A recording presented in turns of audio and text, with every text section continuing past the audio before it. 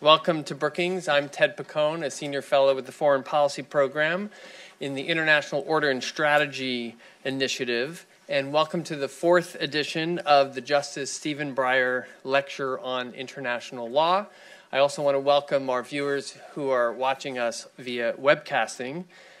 We are very happy to co sponsor this series on international law with the Hague Institute for Global Justice and with the support of the Municipality of The Hague and the Embassy of the Netherlands in Washington. Before introducing our speakers, let me explain why we chose the topic of technology, accountability, and international law. Few of us doubt that the spread of digital technology and the internet has vastly improved our knowledge of the world, our productivity, our ability to communicate instantly with each other, with millions of people around the world. But we now live in a world in which the intersection of these three concepts is fast becoming a chaotic traffic jam rather than an orderly movement of important principles like access to information, justice, and human rights that are matched up to good practices that lead to positive outcomes for society. And as in any bad traffic situation, accidents are bound to happen law enforcement's ability to protect the public is thwarted, individual privacy is violated, elections are manipulated, and victims wait for justice with no reply. What we need, in my view, is a set of rules, protocols, and standards that will help guide the many actors in this drama governments, technologists, businesses, civil society, lawyers, and ethicists toward better outcomes for the general public. These rules are needed at both the national and international levels, and they need to be harmonized in ways that protect our fundamental norms of human rights, rule of law, and justice. Not surprisingly, it was difficult to find just one expert who could integrate all the complexities of this subject into one comprehensive answer. But we did find some of the very best minds who could, in true multi stakeholder fashion, bring their expertise to the table and help us diagnose the problem and engineer some potential solutions. Just briefly, since you have their bios in your programs, uh, let me introduce them. Our keynote speaker, John Carlin, has unique experience managing these issues as the Justice Department's highest ranking national security lawyer, handling cases involving cross border terrorism, espionage, and cyber threats. He now chairs the Global Risk and Crisis Management practice at Morrison and Foerster law firm in New York. After hearing from John with his keynote remarks, we will then ask Jeroen van den Hoven, a leading global thinker on ethics and technology at Delft University of Technology at The Hague, to lead a discussion with John and our two other panelists. We have Alexa Honig, Koenig, excuse me, Executive Director of the Human Rights Center at the University of California, Berkeley School of Law, who will give us a perspective on how technology can be used to advance accountability for grave human rights violations, and Malika Saada Saar, Senior Counsel on Civil and Human Rights at Google, and an outspoken advocate for women's and girls' rights throughout her career in law and advocacy. After the discussion, we will have time to take your questions before we break shortly before noon.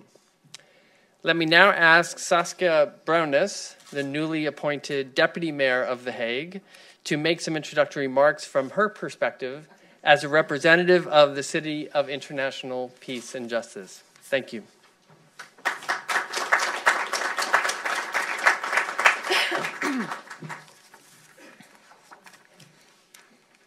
Thank you, Dan. Ted, sorry. Honored guests, ladies and gentlemen. It's a great honor for me to be here at the Brookings Institute, institution, the most influential thinking tank of the world. And this is also a great honor for all of us uh, that Justice Breyer gave his name to this lecture series. And I must say that over the last 12 months, the Dutch were even more interested in the United States than usual. First, the presidential campaign was the main focus, and now everybody is watching your new president closely. And yes, also in the Netherlands, there is a lot of talk about the US Supreme Court and the trias politica in your constitution. And we admire your system with all its checks and balances. The judicial branch is the backbone of our democratic societies. And thank you, Justice Breyer, for your commitment to our lecture series. We are very grateful for that. And thank you, Brookings, for your great hospitality.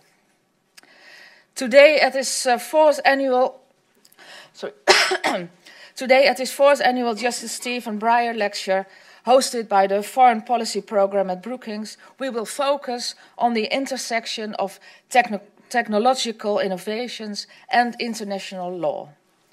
Well, The Hague is at the crossroads of international law and warfare, including cyber threats. As you all know, The Hague is the legal capital of the world with all its courts and tribunals. In The Hague, the world tries to prevent war with courts like the International Court of Justice in the Peace Palace, the only main organ of the United Nations based outside of New York. And if sadly enough war breaks out, if conflicts erupt and escalate, with all the violations of human rights that comes with it, we now have tools to prosecute violators. The Global Tribunal, the International Criminal Court, to punish the war criminals has its seat in The Hague. And The Hague is also rapidly evolving into a security hub. In The Hague, we have the largest security cluster in Europe, the so called The Hague Security Delta. More than 200 companies, knowledge institutes, and NGOs are working together to create a better and safer world a wonderful example of public private partnership. Several other security hubs in the world are now studying this attractive public private model. Ladies and gentlemen, we live in extraordinary times. Terrorism is on the rise in the physical world and in the cyber world. Of course, these two are nowadays intertwined. The Hague Security Delta already has a wealth of knowledge in the field of cybersecurity. And of course, we also need international regulations and laws in the digital world. The digital world offers us an overload of data. The smart use of these data, for instance, the so called big data for humanity, can be used to avert conflicts and to ease humanitarian and natural disasters. But how do we protect digi digital privacy, privacy in a world without borders? And I'm very much interested in what our keynote speaker, John Carlin, will tell us. Under his leadership, the National Security Division launched a nationwide outreach effort across industries to raise awareness of national security, cyber, and espionage threats against American companies in a transnational cyber world, there definitely is an international responsibility concerning cybersecurity matters. I'm also looking forward to an interesting panel discussion moderated by Jeroen van den Hoven from the Technical Delft University. I want to mention one other person who is with us today, Dan Shefet a French lawyer born in Denmark and based in Paris. Dan, where are you? I'm here. I'm here there. Raise your hand, please. Yeah. Dan is specialized in IT laws, data privacy, and human rights on the internet, and is an individual specialist for UNESCO on internet law. In 2014, he founded the Association for Accountability and Internet Democracy. And the main objective of which is to introduce a general principle of accountability on the internet in order to secure the protection of human integrity. Confusion over boundaries between good and bad uses on the World Wide Web is growing. The necessary standards and protocols for applying technology to facilitate effective accountability are lacking. And during the work lunch after this event, Dan will tell us a little bit more about his ideas concerning the setup of an international, uh, the setup of a, the seat of an international internet ombudsman uh, in The Hague. Ladies and gentlemen, I wish you all an inspiring session here at Brookings. Thank you very much, and I'm very honored to invite John Carlin to give his keynote speech.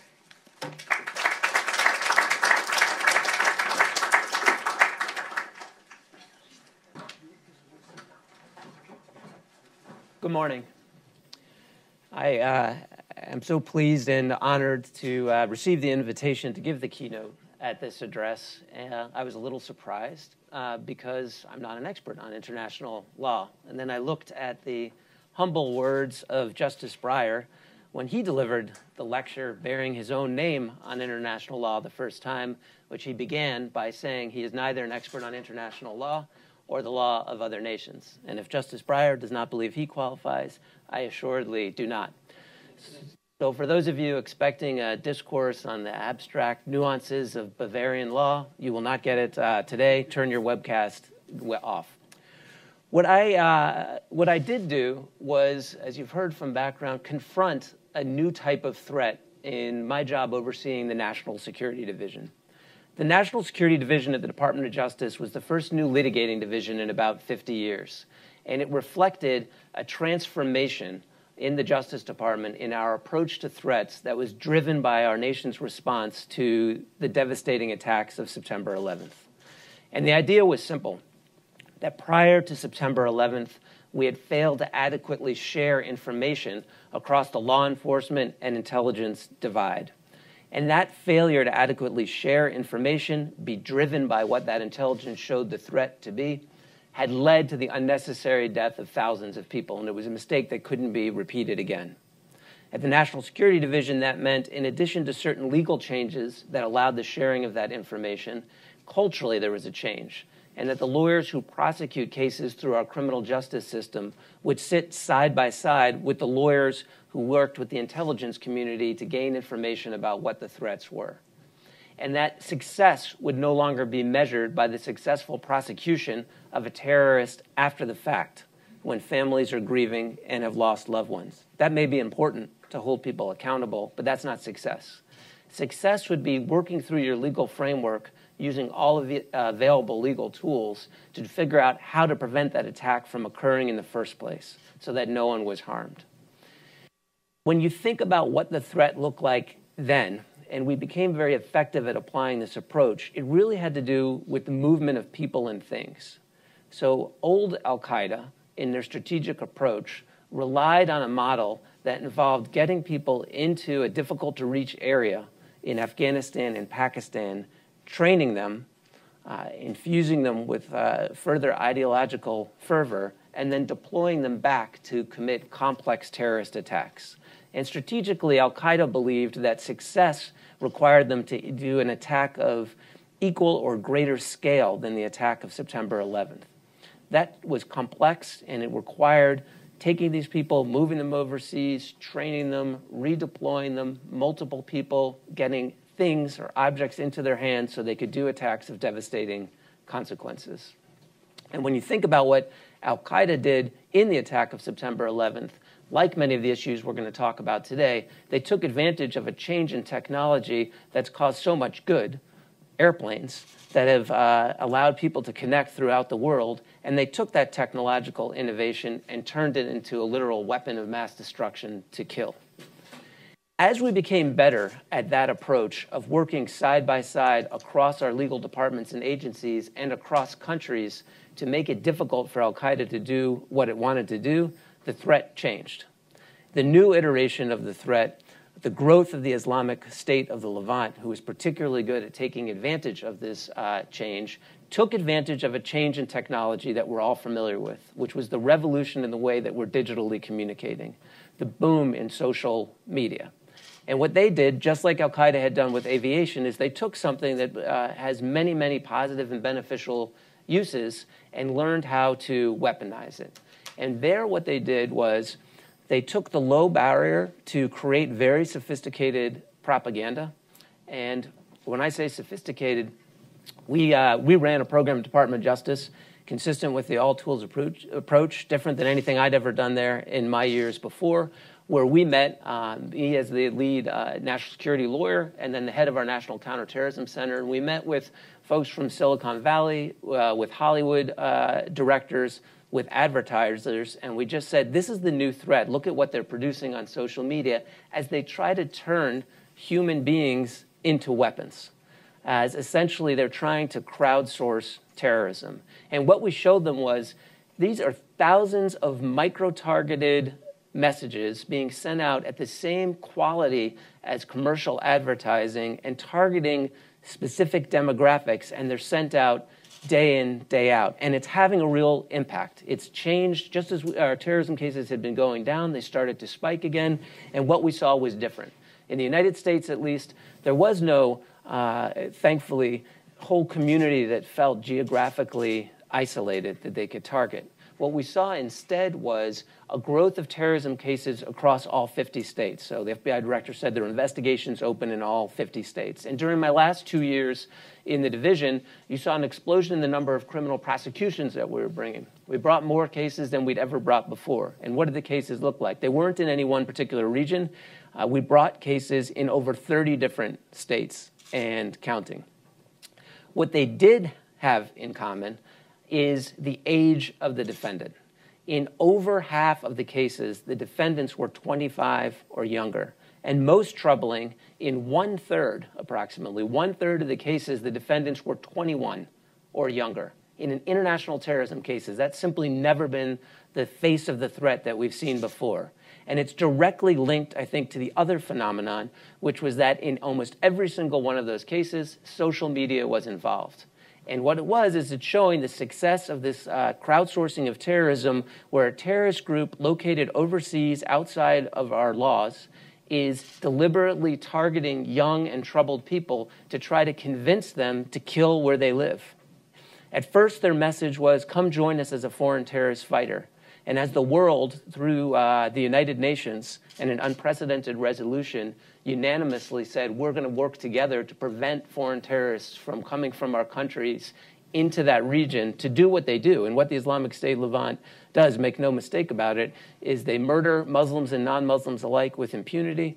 They use rape as a political tool and a recruitment tool. This is the face of evil. And every country, no matter what our other differences, came together in the United Nations resolution several uh, years ago to commit to combat that plague. However, as we got better at preventing the movement of people into that region, they switched their strategy and said, kill where you live. And they used social media to do it, and that's when we start seeing the spike message after message every day. It has a very small success rate. And when I convened that group and was hearing from advertisers, what we did essentially is describe the threat um, consistent with our all tools approach and say, hey, the government's not in the best position to stop this message from reaching these people and working. What can you do about it? And it was interesting to hear them analyze it. They're the ones who told me how sophisticated the advertising was. They looked at details like how the Islamic State and the Levant put their brand um, so I had a little ISIL brand on each one of these micro-targeted demogra- uh, demographic ads. And when I say slickly produced uh, ads that look commercial quality, what I'm talking about, and this is a literal ad, it's not the devastating images of someone being slowly beheaded alive or burned alive, although they put that out.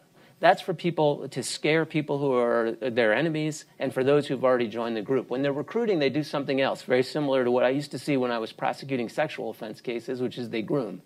So it doesn't start with that type of violent image. Instead, it starts with images of a handsome young terrorist uh, overseas in the Levant handing out cotton candy to children. And that is what the picture of life is going to be like in the Levant. And these advertising experts were saying they did it in soft lens uh, to make it look even uh, more bucolic.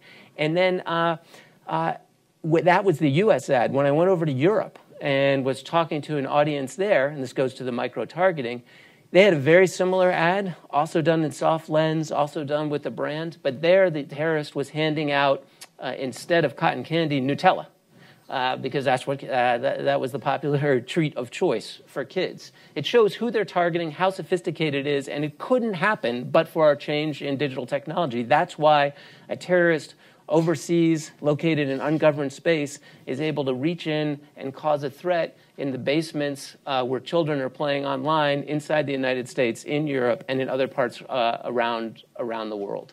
That's what the threat looks like when it comes to terrorism. Let me, uh, let me expand that out a little bit to a different type of terrorist case that's linked to this new approach of crowdsourcing terrorism. So imagine you're at a private company uh, inside the uh, United States, in Europe, elsewhere uh, uh throughout the world. And your information technology professional, your IT folks inside the company, the ones who are in charge of making sure your system is safe, say, hey, boss, I know we're in this mainstream uh, retail company, we got a trusted brand. Someone intruded inside our system and they don't look like they're the world's most sophisticated hacker. They weren't very good. And what they stole was a relatively small amount of personally identifiable information names, addresses. Way smaller than what we normally see. But don't worry, we got it. Vast majority of companies around the world handle that on their own. They don't report it at that point, nor does it even a high risk event that gets uh, reported up to their own executive management. So let's say a couple of weeks later, same guy comes knocking back on the door and says, Boss, we just received through Gmail, let's say, uh, a, an email that says, Give me 500 bucks through Bitcoin, or I'm going to embarrass the company by releasing the fact that we were able to get into your system. This also happens every day across the world, and the vast majority of companies don't report. Uh, sometimes it's referred to as ransomware. And there are different ways that can occur, but it's the same idea of extorting uh, money for fear of cyber threat. And most companies either decide on their own not to pay because they don't think there's that really uh, great a risk that somebody's bluffing, or they make the payments. As far as ransomware goes, 500 bucks, payment through Bitcoin, unsophisticated hack, this is about as low end a ransomware threat as you're going to see. And most companies wouldn't report it. In this case, and those are real facts, in this case, the company did work with government and with law enforcement, and lucky they did, because it wasn't what it looked like. It was a low level uh, criminal uh, trying to get 500 bucks, but it was also an extremist from Kosovo who had moved from Kosovo to Malaysia. His name was Ferizi. From Malaysia, had hacked into this US based multinational trusted retail brand company and stolen these names and addresses. And then through Twitter, had become friends with someone who was one of the more notorious cyber terrorists in the world at the time, a British citizen named Junaid Hussain, who had moved from London to Raqqa, Syria, where he was located at the heart of the Islamic State of Levant. He never met Ferizi in the real world. But through uh, Twitter and other means, they communicated. He radicalizes Ferizi and Ferizi provides those stolen names and addresses to Junaid Hussain in Raqqa, Syria. And what does he do with that information? He does what uh, the Islamic State in Levant had been doing, which is tries to weaponize it to crowdsource terrorism and culls through the list of stolen names and addresses for those who look like they're government employees, because it's a .mil or a .gov, whether it's a state employee or a federal. He then culls that into a kill list using Twitter pushes that kill list back to the United States and calls on the adherents of the Islamic State of the Levant to kill these people by name, by address, using the stolen information that was entrusted with a retail company. Real case. Because we were able to work together, we were able to take effective action. But what did it require? It required the United States working cooperatively with Malaysia to execute a criminal arrest warrant and Ferizi was arrested by the Malaysians, brought to the United States, faced, uh, signed a lawyer, faced trial, pled guilty, and was sentenced to 20 years this past July. Junaid Hussain was in ungoverned space in Raqqa, Syria, at the heart of the Islamic State in Levant. He was killed in a publicly acknowledged military strike by Central Command. Think about what that threat is and the speed at which it's moving it requires us to do something we haven't done before. If you think of all the billions of dollars and energy that went into transforming how we approach cross border terrorism threats after September 11th, almost all of that framework time and energy went into sharing within government and across governments. This threat requires something we simply haven't done before and is an order of magnitude harder which is how do you figure out, how do you share that information with the private sector where most of this information and uh, infrastructure resides? How do you share what you're seeing on threats effectively so they can defend themselves and take necessary actions? And how do you incentivize and properly encourage information sharing back so that you can combat the threat? And how do you do that in a, with a speed of threat that moves so fast at the speed of digital? I mean, think about this case alone. It's five different countries that you have to work across. And the citizens involved are of five or six different nationalities. That is going to be, is, and will continue to be the new face of, the, uh, of national security threats. Let me switch from there then to cyber uh, properly. When it came to cyber related threats. I used to prosecute uh, these cases. And when I did, I worked only on the criminal side of the house. And when I was prosecuting these cases, I worked with an FBI squad. There was another squad that did the intelligence. They were behind a literal locked, secure door, and I never knew what the heck they were doing back there, and I never went on the other side of the door. And as those of you know who lo- are looking at the criminal threats, there was plenty to do even 10, 15 years ago on the criminal side of the house, so I wasn't banging on that door looking for more work. Occasionally, an agent would switch squads and they just disappeared, never to be seen again, doing whatever they did on the intelligence side. When I went over to the FBI to be chief of staff to then director Mueller, the door opened. And one thing we were working on was how can we at the FBI share information across the different government agencies to get a better picture of the threat? And we did a pretty good job at the time. And in fact, we had a giant Jumbotron screen, much larger than the one behind me. And on that Jumbotron screen, we could watch in real time as nation state adversaries hacked day in, day out into the United States all across, and they'd hack something like a Brookings or a university, sometimes to steal information there, but sometimes just to hop from that university into a corporation. Then we would literally watch, because they had a visual graphic, we would watch the data exfiltrate out of the United States. So, incredible intelligence feat. Not a win, uh, though. It didn't feel good watching it because it became clear what we're seeing isn't traditional espionage. It isn't the collection of intelligence for national security defense uh, that's been legal under uh, and recognized under international law for hundreds of years. Instead, it's causing real damage to real victims now billions of dollars worth of loss of intellectual property and trade secrets. And so we had to change our approach. When I went back to the Justice Department to head the National Security Division, it became clear that, number one, we, were, we hadn't made the changes in this arena that we had made when it came to combating terrorism. So we weren't opening that door and sharing information. We changed that and created new national security cyber uh, specialists in every U.S. attorney's office. The FBI issued an edict then that said, Thou shalt share this information with this new specially trained cadre who know both the bits and the bytes and Computer Fraud and Abuse Act and Electronic Communication Privacy Act, but also are trained to handle sensitive sources and methods and now are read in on what the actual threat looks like when it comes to national security actors. And then we made a determination we were going to change approach, take what had only been in the shadows of the intelligence world, just like Cold War espionage, and try to bring it out because if our challenge includes getting the private sector on board, we have to figure out ways to talk publicly about what the threats are so they can protect themselves and so that there's a will to take action. That change of appro- in approach led to the first case of its kind the indictment of five members of the People's Liberation Army, Unit 61398. This unit of the second largest military of the world in China was targeting private companies for the benefit of their economic competitors. And when we charged this case, it caused a fair amount of controversy at the time. Why are you bringing criminal charges against state actors? So let me talk a little bit about why. Number one, you got to look at the act, what was actually happening. So if you read the, uh, the facts that are put forth in that charging document, we go into detail about what this crime looked like. And what it looks like is theft. So you'd see, even though they were literally wearing the uniform of another army, they were going in and stealing things like right before a company here was, a uh, multinational company here was doing a joint venture with a Chinese company where they were going to lease a lead pipe. You watch these members of the military go in literally the night before and steal the technical design specifications for the pipe so they wouldn't have to pay for it. Or to use another example, this was a US subsidiary of a German multinational solar company They went in, and there what they stole was the pricing information. So it's not always the intellectual property.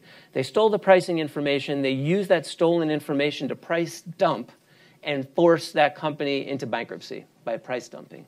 Then, to add insult to, to injury, when that company sued for an unfair trade practice, they stole all the litigation uh, strategy. A true insult to lawyers. But uh, so what we were seeing is essentially anything that wasn't locked down, they, they were stealing. So that, that is partly why we brought this wasn't traditional uh, intelligence collection, this was theft.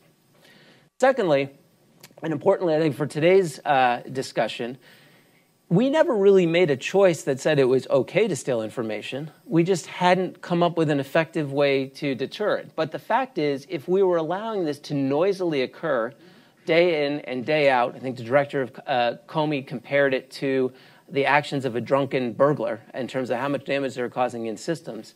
If we allow them to noisily do it, it's like uh, in U.S. in U.S. law, we have a common uh, example from our common law, which is if you let someone walk across your lawn long enough without telling them to stop, they have what's called an easement. They gain the right to walk across your lawn.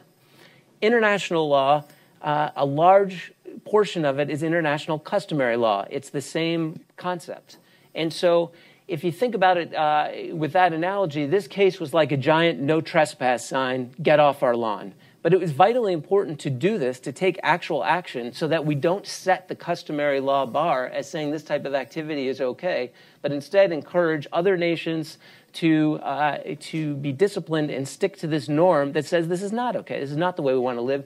You should be, instead of investing all of that money into stealing this information, incentivized to invest this money into research and development. That case was more successful, I think, than we thought it would be. Thought it was the beginning of a new approach, but it turned out to be, I think, quite impactful on changing, changing Chinese behavior. Let me fast forward a little bit to the next major cyber intrusion. So, we had wargamed out for years what it would look like if a rogue nuclear armed nation state decided to attack the United States through cyber enabled means. And we all got it wrong because we never pictured that their first big attack was going to be over a movie about a bunch of pot smokers that is what happened with the Sony uh, North Korean in, uh, intrusion. It's the only time in my career that I've gone to the Situation Room and had to brief the President, uh, National Security Council on a serious national security threat, and start the briefing by trying to describe the plot of that, uh, that movie, which, if you've seen it, is not easy to do. But the reason why we treated it like a national, not an act of war, but like a national, serious national security threat is what else was it? It was an, it was an attack on a fundamental right of free expression and it was also uh, an attack inside the boundaries of another nation uh, state. And so we wanted to send a message back, not just to North Korea, but to all of the other countries and even non state actors who are figuring out what can we do in cyber uh, space? Is it different? Is it, as many have described, and it currently looks like in some respects, the Wild West? Or is it going to be something governed by the rule of law? In order to take that response, though, we couldn't have done it without Sony's cooperation. Right away, they did the right thing, and within hours, we're cooperating. That is the only reason why we were able to do what's vital in these types of cases, which is the investigation and attribution to figure out who did it. That's why we could, in less than 28 days, have the confidence that it was North Korea of such a high degree that the Bureau, in an unprecedented uh, move, put it out in a public statement, and the president echoed it from the podium in the White House. The other thing we realized going around that situ- situation room table, though, is that we were lucky in some respects that it was uh, North Korea. Because unlike the well honed system we had when it came to putting in sanctions about the movement of people and things. So we had an effective regime for terrorists uh, that we've used to great effect to deny funding and other means. And we had a sanctions regime set up for those who would proliferate weapons of mass destruction. But we did not have an executive order that allowed sanctioning for cyber enabled activity, even if it was activity that harmed the fundamental national security or economic interests of the United States. Luckily, in that case, North Korea had done so many other things we had an available tool because it was North Korea. And if it had been somebody else, we wouldn't. That's what led to, in April of that year, a new executive order that allows for the sanctioning not just of those who steal information, but significantly, or cause destruction, but significantly those who benefit including companies or individuals, from stolen information. So even if the People's Liberation Army stole it, if the company that was the beneficiary, the rival company in China, was uh, benefited from it, they could be sanctioned. I think it was the combination of the criminal case, that new executive order, and a belief that we were con- going to continue to raise the costs uh, because this was not an acceptable way, this uh, rampant theft of information, that caused the highest levels of Chinese le- leadership to take a look at uh, what they were doing and led to a breakthrough, a diplomatic breakthrough. President Xi sent a delegation. We negotiated with them on a so called four points uh, agreement. And President Xi, along with President Obama, announced together as one of those four points that it is wrong to use one's military or uh, intelligence services to target a private company for the competitive be- uh, benefit of its rival. Essentially, that was the norm. That break- breakthrough led to the G20 adopting those same four points.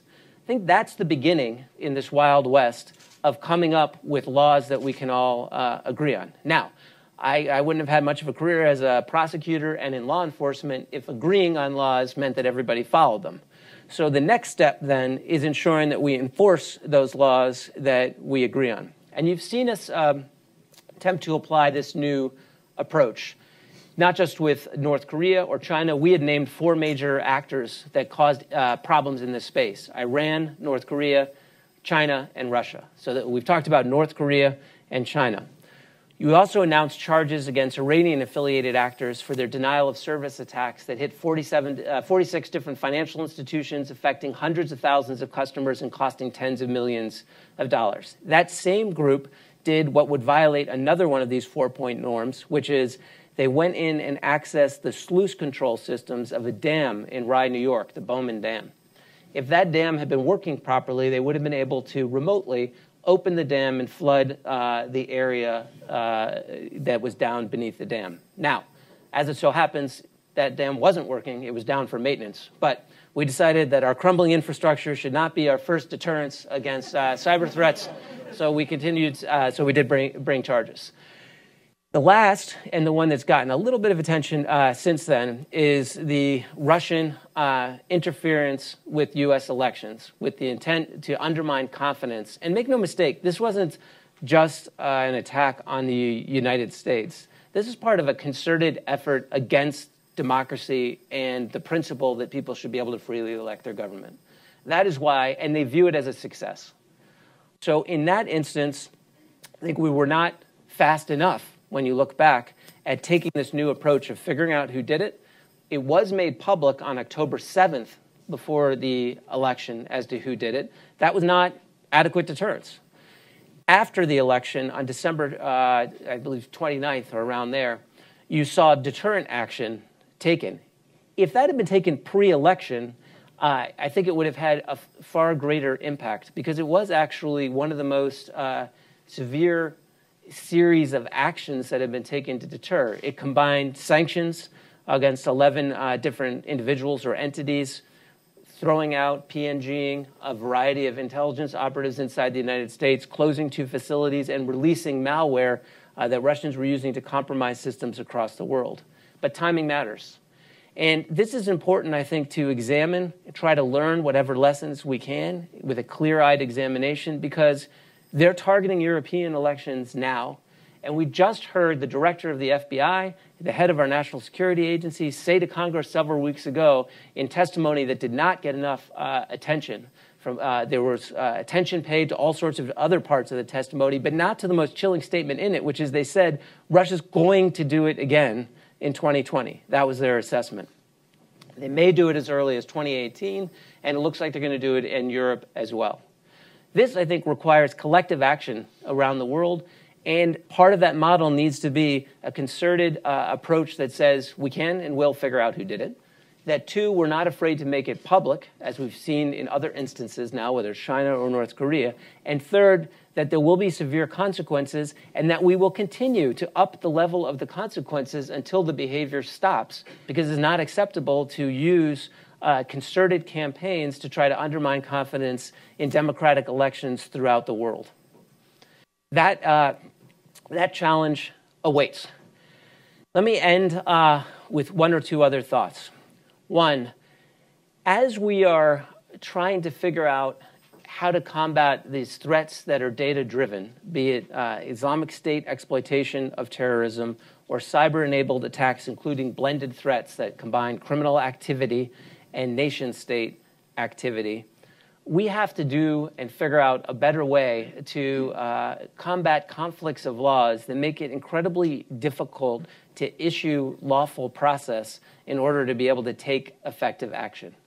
And this cuts across a couple different ways. One is figuring out how to incentivize, and this is one of the four points, uh, countries to, if some criminal activity is coming from within their borders, to cooperate to take effective action to prevent another uh, state citizens from being uh, attacked criminally or through nation state means.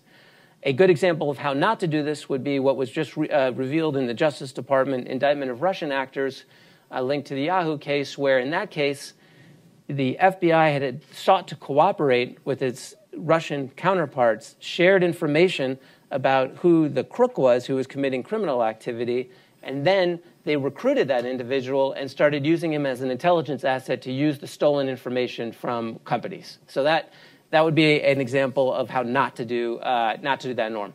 So that's one.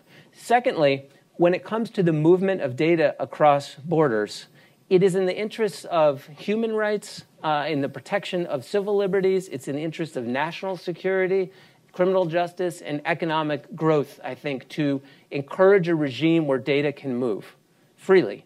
But in order to do that, we also need a regime where individual sovereign states feel that they have the necessary legal tools to protect their citizens. That is a hard problem to solve.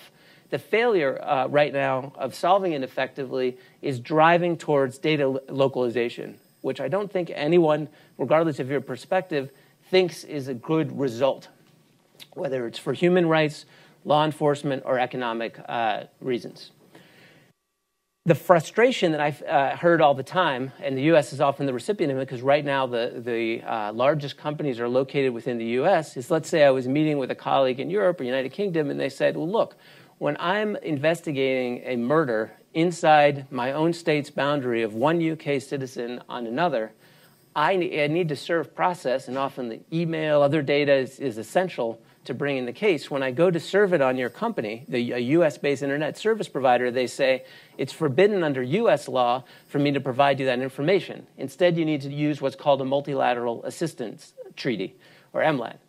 I'm only exaggerating slightly, but MLATs are essentially older than the dawn of time and require you to do something in quill, in quintuplicate, and with a thousand pages on yellowed pamphlet. And so they are not efficient. They take at least 10 months. So to tell a local police officer your investigation's on hold while you make this international legal request of another country has not been a satisfactory answer.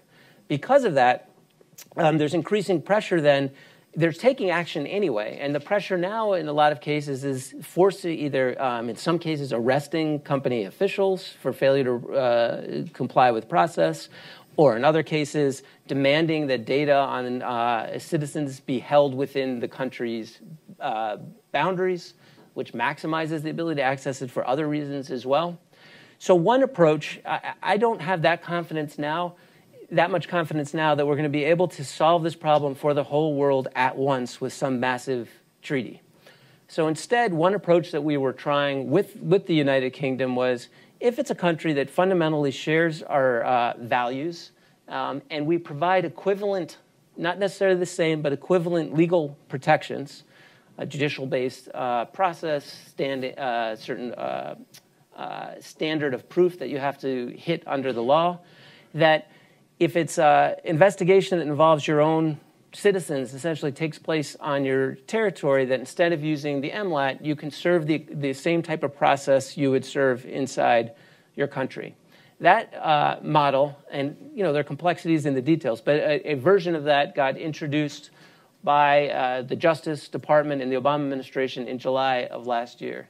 And one reason I'm uh, curious to hear, hear people's thoughts, but I think that's a good potential model would be if you can one by one get countries uh, to join on, show that it works, that it's respectful both of privacy and civil liberties, and allows law enforcement to do their job, then I think it creates a, uh, a bar that other countries will be encouraged to increase their legal protections, civil liberties protections, and others because they want to take advantage of this type of treaty arrangement, and it will reduce the pressure for, for law enforcement or national security means for people to come up with their own solutions and place companies in the unenviable situation of being right at the center of a conflict of laws.